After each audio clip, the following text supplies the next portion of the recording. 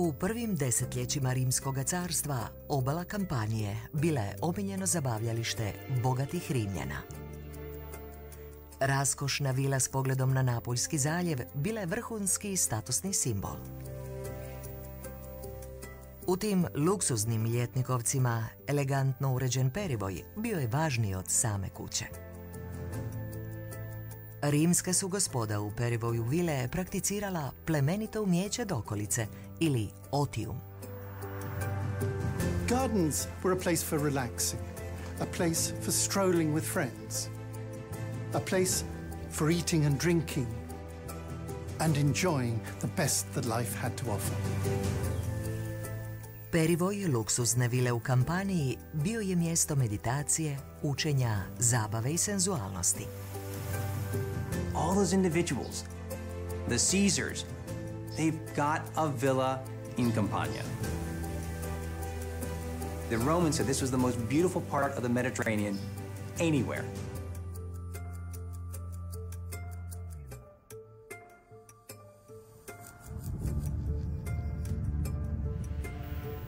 A onda je 24. kolovoza 79. godine taj glamurozni način života naglo uništen u prirodnoj katastrofi. Vulkanska erupcija prouzročila je veliku ljudsku tragediju, ali je i na jedinstven način očuvala vile i perivoje u podnožju Vezuva, koji su ostali zaustavljeni u vremenu.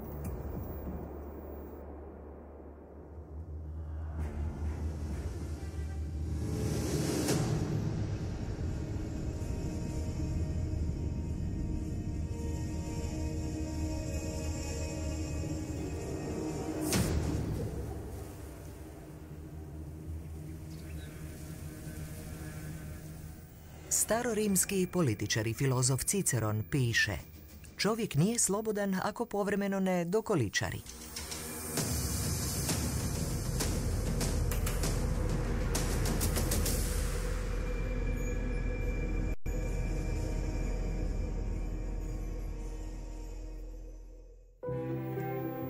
Sloboda na koju Ciceron aludira u antičkom Sarimu definirala riječju koju je gotovo nemoguće prevesti, otium.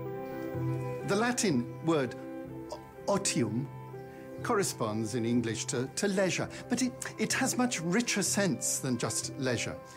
Otium is always a flip side of a coin. It's the other side of negotium. Negotium is not having leisure, but it's business. And if we think about this leisure idea of today, what is that? Well, that might just be kicking back on a sofa and watching uh, TV all day, drinking a beer. But for the Romans, it was actually something much more active, and it was something which is ultimately going to benefit the, the kind of the mind and the soul of the individual. Rimljani su otium smatrali plemenitim ubijećem. Bio je to neizostavan dio života rimske gospode. Per la possibilità di coltivare per esempio passioni per la filosofia, per la storia, per la storia della retorica, lo scrivere. I luoghi per esercitare questo ozio beh, sono scelti in maniera molto oculata.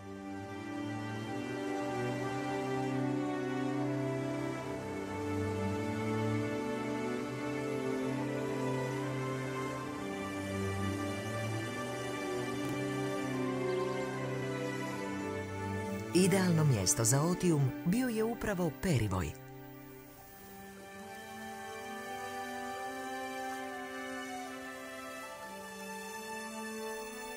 Zahvaljujući fantastično očuvanim starorimskim vilama i perivojima duž kampanijske obale, danas možemo bolje shvatiti taj fascinantni aspekt starorimskog načina života. Campania is an area that was of incredible natural richness, agriculturally, and especially around Vesuvius, with the, the rich chemicals from the volcano. Uh, produce just grew and grew.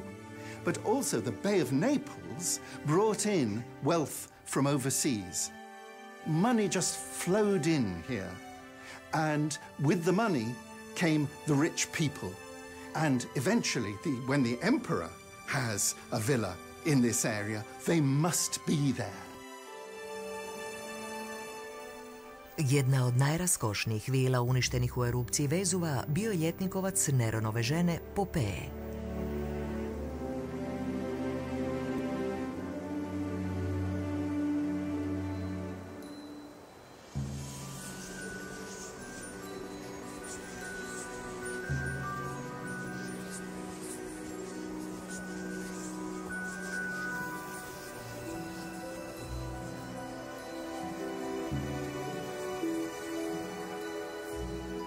Looking at the historical sources, seeing the kind of person that Poppaea was, is definitely someone who's influential in the life of Nero. She definitely, I mean, there are lots of stories associated with her, some of them pretty incredible, but definitely had a great influence on the life and the decisions of Nero. Nekoć veličanstven perivoj Popejne vile jedan je od najbolje istraženih u okolici Pompeja.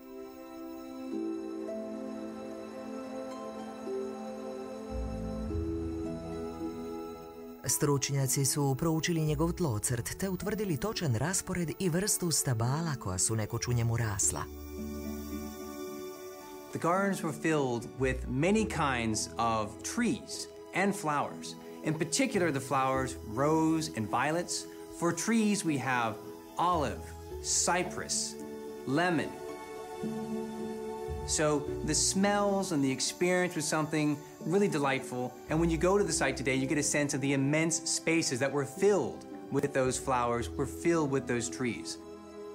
In the gardens of the Villa of Popea, it's not just peristyle courts, landscape gardens, it's not just the fountains and, and places to sit and view art. It also had a magnificent swimming pool. We're talking like an Olympic sized swimming pool. So the experience that they're going to have in these large estates is going to be grander than anything else that anyone conceives of. So sure, there are pools, but then that's a pool. I mean, that's just on another level. And again, it underlines the fact that the resources that this person has is far above and beyond what anyone else can conceive of.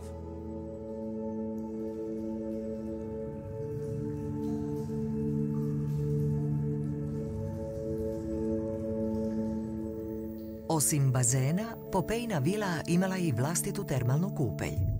Kupanje je bila omiljena razonoda u antičkom Rimu. Mnoge od najvažnijih vila iz tog razdoblja imale su bazen s toplom vodom i parnu kupelj, što nam govori mnogo o profinjenosti Rimljana. This enormous wealth that comes with empire also brings innovation. It brings innovation, particularly in the area of bathing. They develop ways of heating water, of making the sensory experience of bathing ever more complex and pleasant. They also, of course, they invest in, in everything about the house. And the gardens are incorporated in all that innovative building.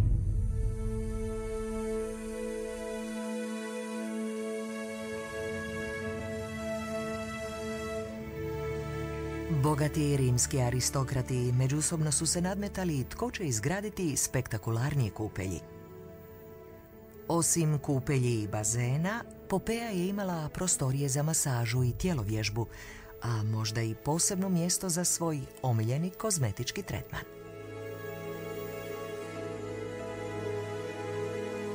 So one story associated with Popea is that she liked to bathe in the milk from donkeys. And of course, donkeys don't render a lot of milk, so you need a lot. And one source says even 700 were needed to, to get a huge uh, vat for her. Plinije stariji opširno piše o tome. Vjeruje se da magareće mlijeko uklanja bore na licu, a koža je od njega mekša i svjetlija. Poznato je da ga neke žene nanose na obraze sedam puta na dan. Dobro paze da ne preskoče ni jedan tretman. Ovi pioniri luksuznog načina života, vlasnici pompejskih vila, znali su da je upravo zbog perivoja njihov posjet tako dragocijen. Zato su po cijelom carstvu, a i šire, tražili nove vrste biljaka i cvijeća, te prihvaćali različite hortikulturne tehnike. Željeli su stvoriti idealno okružje za prakticiranje plemenite dokolice.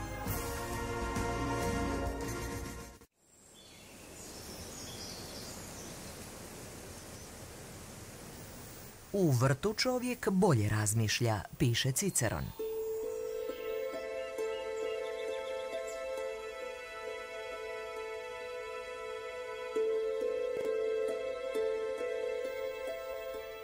Boraveći neotvorenom, okruženi lijepim fontanama, kipovima i nimfejima, Rimljani su u vrtu dokolice kultivirali duh i intelekt šetnjom, čitanjem i meditacijom.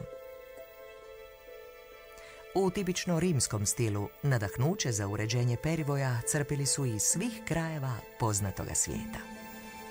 Il giardino ha un'origine antichissima, i romani lo scoprono, eh, nei loro viaggi in Oriente, lo importano in qualche modo e riescono anche a elaborare una loro arte del giardino, la cosiddetta ars topiaria, dove il giardiniere diventa il punto di riferimento per creazioni sia di concentrazioni di piante anche sconosciute, esotiche, ornamentali, sia anche delle sperimentazioni, delle vere e proprie sculture che si fanno con le piante che ricordano un po' degli esperimenti che noi conosciamo nelle grandi residenze, non so, francesi del 6-700.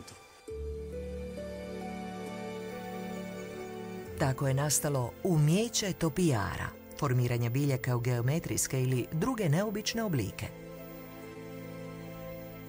Obrezujući i šišajući grmove, vješti su vrtlari stvarali trodimenzionalne prizore i skulpture iznimne ljepote. In the garden you have not just nature, but a very carefully, artificially organized form of nature, with plants carefully tended. The Roman always sees nature as in a relationship with culture. And one fascinating thing they do with gardens is to create a sort of dialogue between nature and culture. The garden mirrors the built environment, and the built environment echoes nature.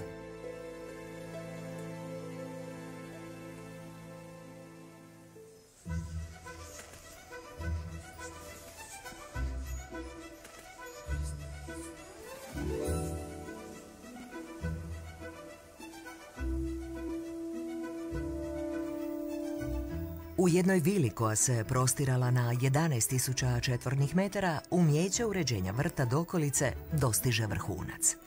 Bila je to vila San Marco u Stabiji,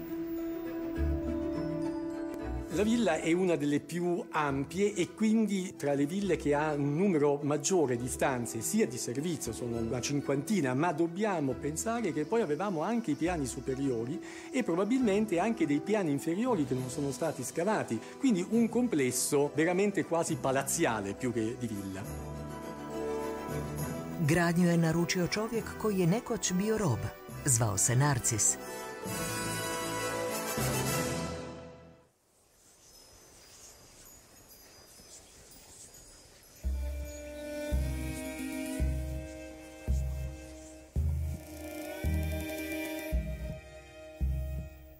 Prvom stoljeću nije bilo neobično da rimski robovi steknu slobodu, pa čak i da se obogate, poput Narcisa, vlasnika impresivne vile San Marco. Among this enormous presence of ex-slaves, the most important are the ex-slaves of the emperor. They're the ones who can rise highest. We know that the Emperor Claudius had a whole series of slaves and ex-slaves working for him, including a figure called Narcissus.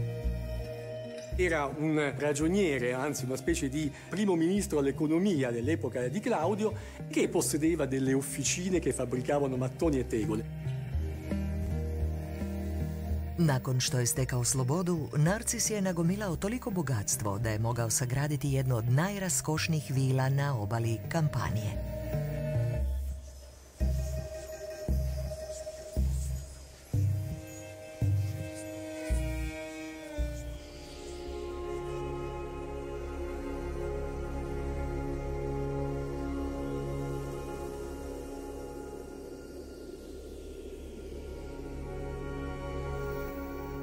Perivoj te vile smješten je u peristilu, unutarnjem dvorištu okruženom trijemom sa stupovima. Un elemento molto originale dei quartieri residenziali di Villa San Marco è dato dal fatto che dalle stanze in cui si svolgevano i banchetti si poteva guardare il giardino anche attraverso ampie vetrate. La scoperta del vetro è una scoperta che si deve soprattutto al mondo alessandrino, quindi del III-II secolo a.C., ma che i romani recepiscono e elaborano e perfezionano in modo da creare la possibilità di avere queste vedute paesaggistiche o del giardino o del peristilio stando riparate all'interno delle loro stanze.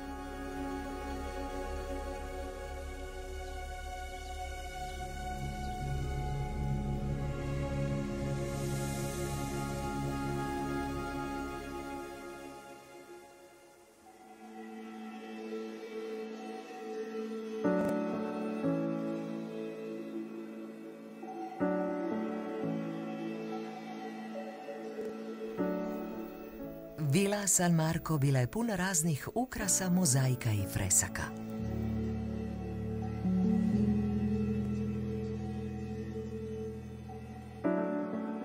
Si passeggiava, si passeggiava e le pitture che si incontravano erano stimolo alle, alle, conversazioni, potevano essere oggetto di conversazione, i miti rappresentati sulle pareti che si attraversavano deambulando, potevano essere temi da cui partire per delle riflessioni sul, sul, sul mondo, sull'antico, sul presente.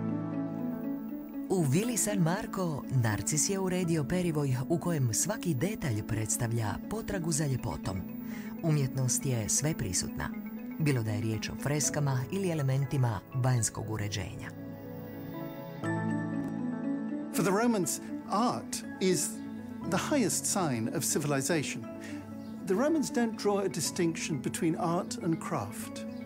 It's skill. And skill is what distinguishes humans from non-humans civilized people from barbarians. It's the level of your skill. And the same skills that produce goods in workshops, working away to produce uh, beautiful cups and uh, all the, the stuff of life.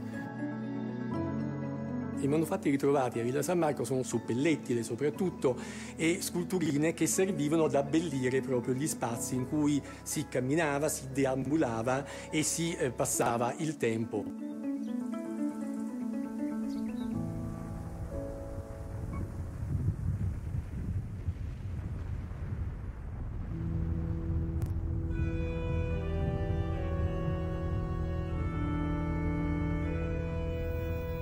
Narcis je nagomilao uistinu veliko bogatstvo, ali neće dugo u njemu uživati.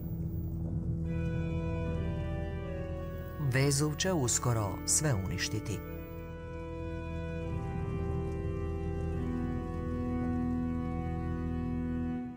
Među očuvanim predmetima nalazimo slike i freske u vili, profinjena umjetnička dijela, bremenita značenjem.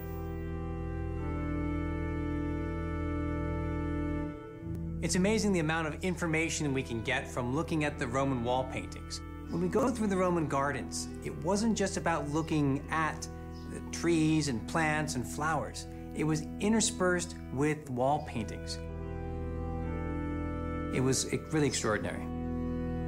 Mnogi vrtovi i perivoji u okolici Pompeja ukrašeni su freskama cvijeća i diličnim prizorima iz prirode koji su nadopunjavali pravo zelenilo.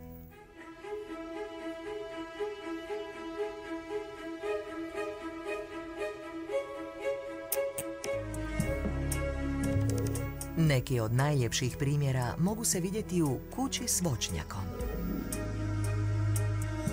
Sono pitture che si richiamano a giardini, eh, giardini ovviamente potenziati, dove ci sono uccelli di tutte le specie, che ovviamente in un giardino reale non ci sono, ma sono anche giardini dove regna un'eterna primavera, fioriscono contemporaneamente tutte le essenze.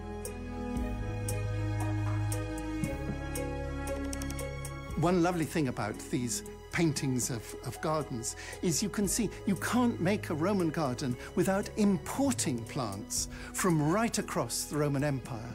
They bring in all sorts of plants from all around the world they know.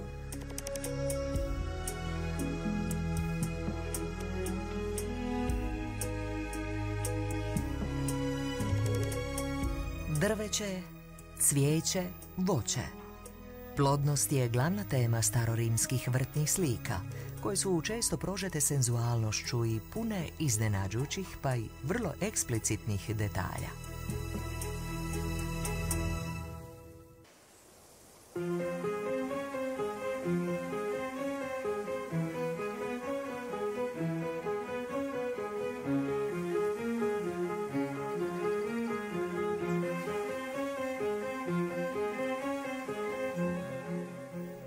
Takozvane zabranjene umjetnine iz Pompeja, erotske slike i skulpture pronađene diljem zakopanoga grada, bez srama su bile izložene u svim dijelovima starorimske vile.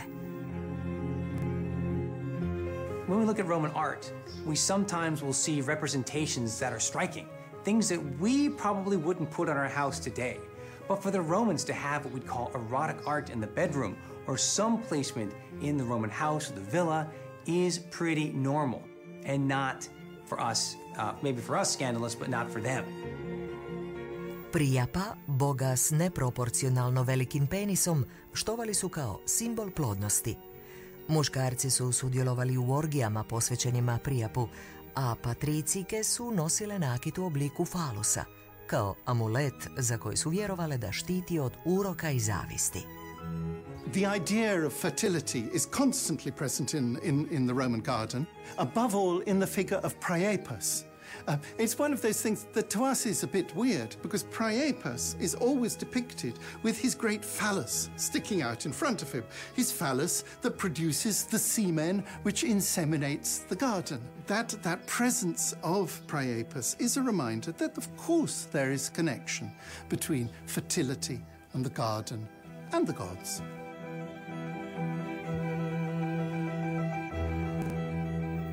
Freske u vilama bile su pune raznovrsnih plodova, ali satiri, spolni čin, prevara i ljubomora također su česti motivi. Erotska umjetnost izravno proizlazi iz vjerskih i društvenih običaja starih Rimljana. U vilama otkrivamo i dokaze postojanja drugih kultova –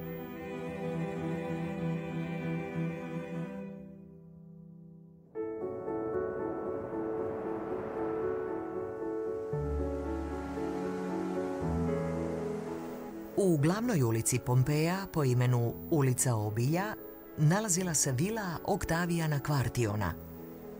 Bio je to kompleks od devet zgrada koje je vlasnik srušio do temelja kako bi uredio veličanstveni perivoj sa šetnicom posvećenom egipatskoj božici Izidi.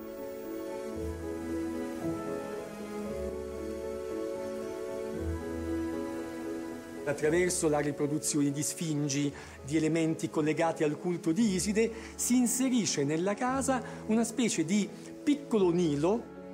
In questo caso si tocca molto da vicino per mano il rapporto molto intenso che c'è tra religiosità e spazi naturali inseriti all'interno delle abitazioni.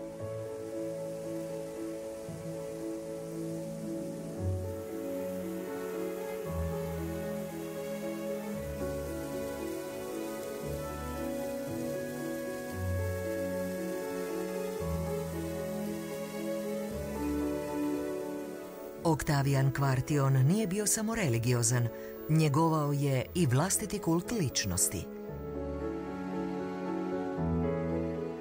Na jednoj od najistaknutijih fresaka prikazan je kao svećenik, odjeven u dugu lanenu tuniku i posvećen kultu Izide.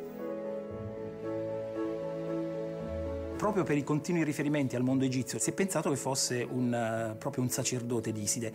Questo è difficile dirlo. Quando uh, Roma conquista l'Egitto, l'Egitto conquista Roma con la sua cultura. È una persona agiata di un certo livello, è una persona che ha una certa cultura o almeno la scimmiotta.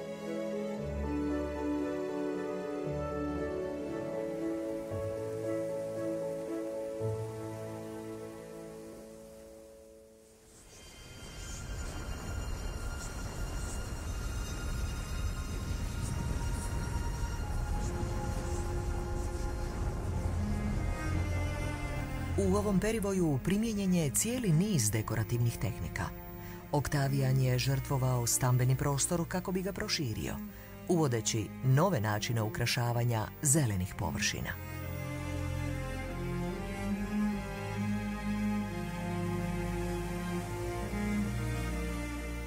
Kipovi, fontane s vodoskocima, pergole i bazeni.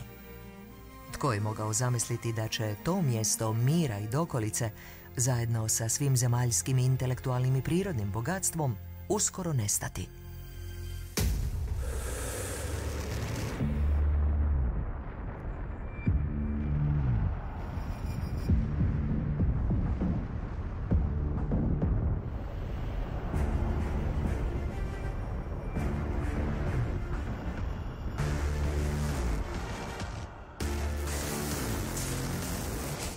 Sophistication and culture and all the entertaining that took place in these villages. They didn't realize they were sitting on a time bomb.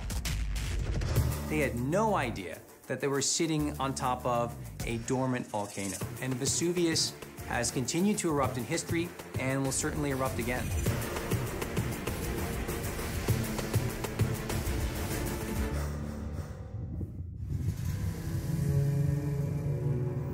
U tužnoj ironiji sudbine, priroda koja je ovoj zemlji podarila iznimnu ljepotu i nadahnula raskošne vile s perivojima, donjeće smrt Pompejcima i uništiti njihovo bogatstvo.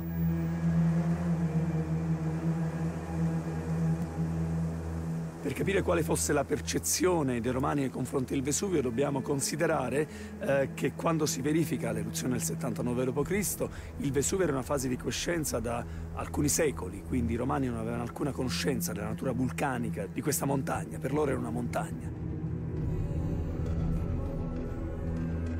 Ai terremoti certo che erano abituati perché quest'area, come tutto il Mediterraneo, è soggetta ad eventi sismici eh, ricorrenti e si è abituati al punto che si accetta il rischio eh, di eventi che distruggono regolarmente gli stessi siti a distanza di decenni o di secoli.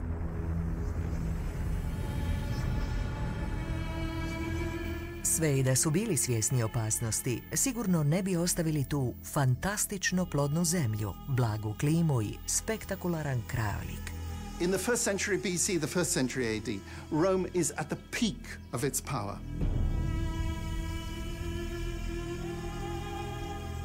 And what you have is this really uh, concentrated moment of great development, of wealth, of the economy of Rome and Empire, and socially. And one reason for that is because you have so many slaves are being freed, and you have a new status as a freed man or a freed woman.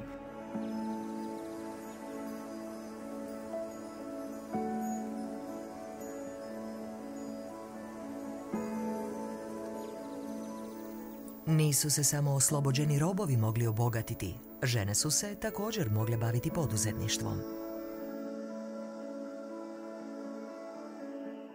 Kuću Julije Felicije možemo smatrati prvim pansionom u povijesti. There's a wonderful inscription saying on which day to go and if you want to rent a room in her place. What she has is really, really magnificent. This beautiful pool with dining rooms facing on the pool. You can imagine the water playing from fountains, and by it, a bath suite. A magnificent bath suite. And we know that she rented it out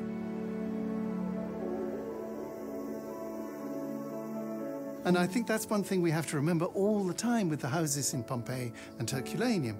It's not just people living there, it's people making money out of them. It's a very good way to get return on your investment. You buy a house and then you make money out of it. They don't have Airbnb, but they knew about making money out of visitors. Julija Felicija iznajmljuje pristojnim gostima elegantnu kupelj dostojnu Venere. A Giulia Felice si è attribuito un po' anche il ruolo del tutto sbagliato di maîtresse, cioè di tenutaria di un grande centro di piacere. Vjerojatno je tajanstveni natpis na ulazu koji spominje kupelj dostojnu Venere 50. godine 20. stoljeća naveo arheologe na krivi trag. In realtà probabilmente significa semplicemente che era un bagno caldo, perché gli antichi poeti ricordano che il tocco di Venere fa diventare caldo anche un uomo anziano, un uomo vecchio, quindi diventato freddo ormai al contatto sessuale e quindi semplicemente significa il bagno di Venere è un bagno caldo e di rilassamento.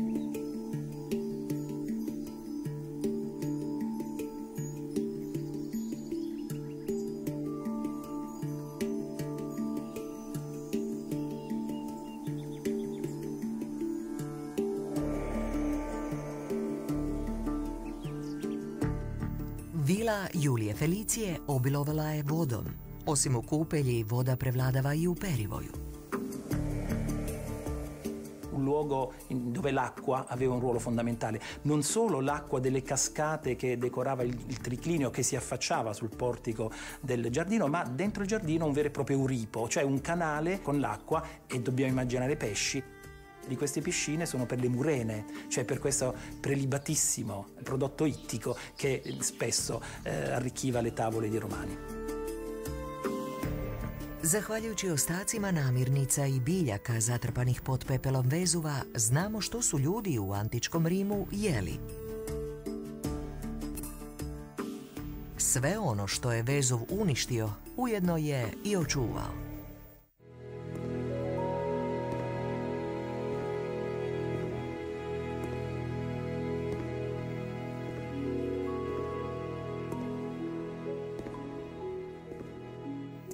Za velikih vrućina konkubina bi lepezom hladila Pompejca, rob bi tjerao muhe, a spretne maserkine ruke gladile bi mu tijelo. Tako pjesnik Marko Valerije Marcijal opisuje banket u Pompejima.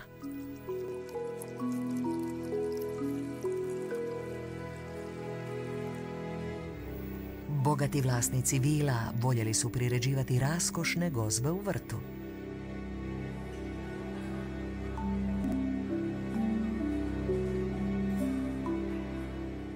To understand a Roman dinner, the first thing you need to put in your head is that they're not sitting on chairs round a table.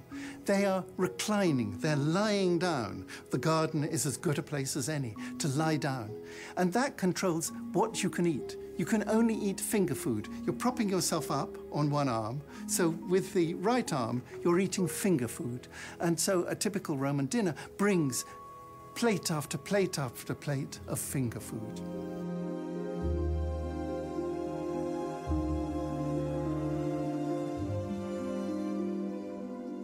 Just as the flowers come from all over the world, the food tastes come from all over the world. The height of luxury was to get hold of impossible food, not locally sourced.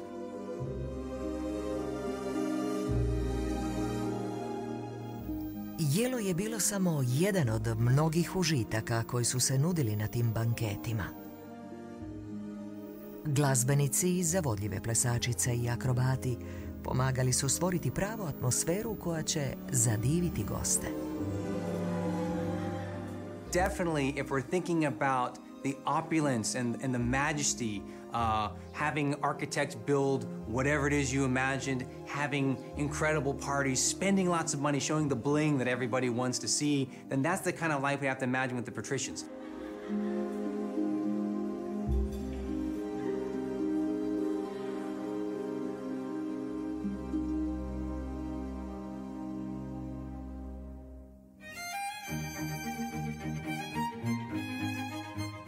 Bogataši su se silno voljeli razmetati. Nedaleko od Pompeja nalazio se gradić omiljen među najbogatijim Rimljanima. Herkulanej. Svatko tko je ovdje imao vilu, uživao je u terasastom vrtu s pogledom na more i preljepi Napoljski zaljev.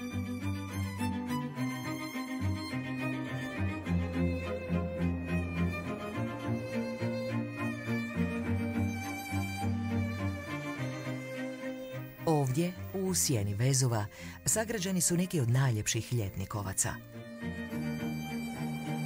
Među njima je i vila papirusa, koja je samo djelomično iskopana. Američki naftni magnat Getty toliko se oduševio tom vilom da je dao sagraditi repliku u Los Angelesu. It's actually a recreation based on many, many different bits of evidence. But the ground plan, at least, gives us that extraordinary sensation of this enormous space, the peristyle garden, that goes on for a hundred meters. That's quite a garden. Perivo je bio zaista impozantan. Krasila ga je kolonada sa 64 stupa, bazen veličine 100 puta 37 metara te kompleks termalnih kupelji.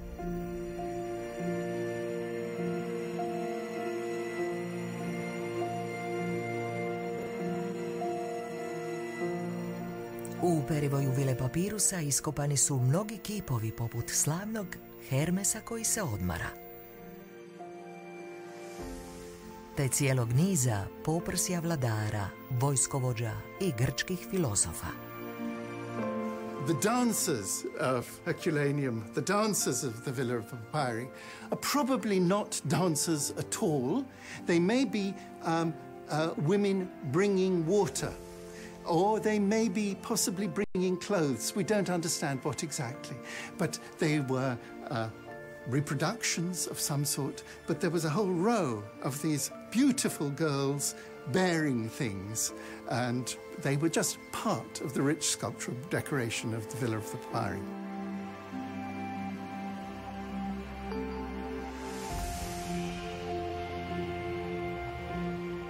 Vila je dobila ime po knjižnici koja je otkrivena u njoj.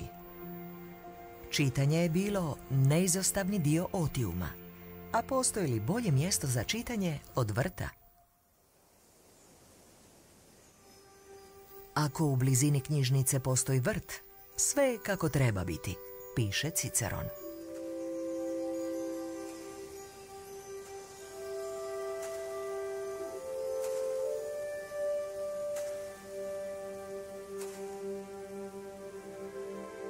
Rimljani su voljeli čitati sjedeći na eksedri, polukružnoj mramornoj klupi u blizini vrta, gdje su se često i naticali u deklamiranju stihova.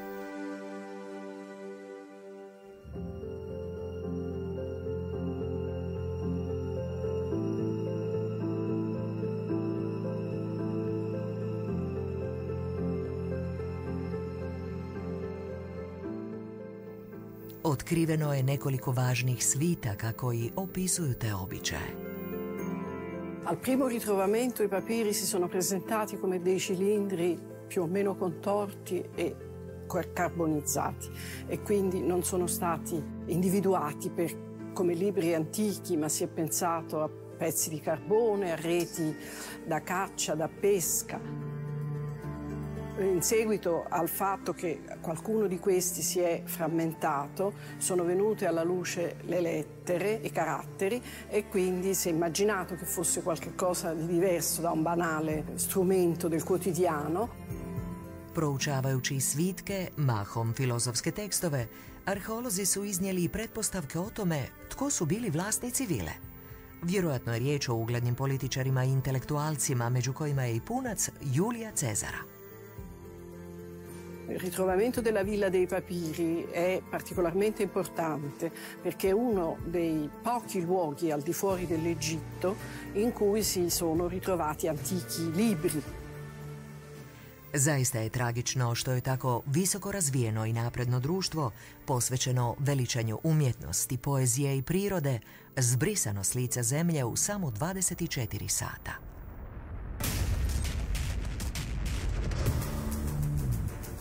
Plinije mlađi ovako je to opisao. Strašan crni oblak parale su razgranate vatrene eksplozije.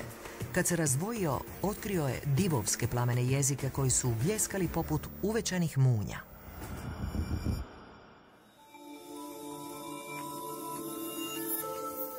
Ubrzo poslije toga oblak je prekrio zemlju poput bujice. L'eruzione inizia con lo sviluppo di una enorme colonna di gas e cenere che si solleva dall'interno del cratere fino a un'altezza di oltre 30 km. Pompei è proprio nel fuoco di questa eruzione e viene colpita dalla pioggia di lapilli più intensa. Dopo circa 20-30 cm di accumulo iniziano a crollare i tetti e vengono riempiti gli ambienti. Le strade sono ormai non più percorribili e l'attività però continua e quindi nel giro di circa 10 ore si accumulano oltre 3 metri di lapilli. Ovviamente non si riconosce più niente.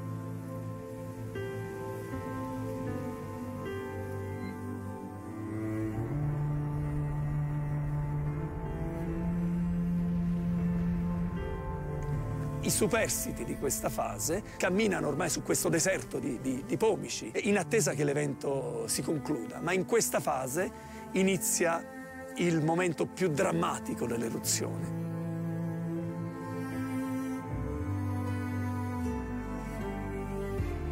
questa colonna non è più stabile per modificazione all'interno della, della, camera e del condotto e collassa su se stessa, ricade sul vulcano producendo le nubi ardenti sono colate di gas e cenere turbolenta, eh, analoghe proprio a valanghe, che avanzano sui fianchi del vulcano a velocità di centinaia di chilometri orari, con temperature di centinaia di gradi.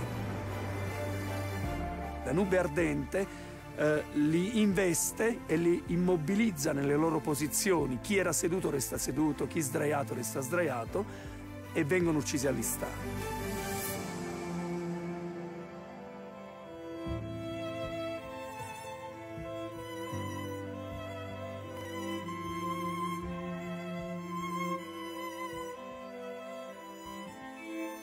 Čuli su se i žena, plać male djece i uzvici muškaraca. Neki su dozivali roditelje. Neki djecu ili supruge, pokušavajući ih prepoznati po glasu. Ljudi su gorko plakali nad svojom sudbinom i sudbinom svojih bližnjih. A neki su se u strahu od umiranja molili za smrt.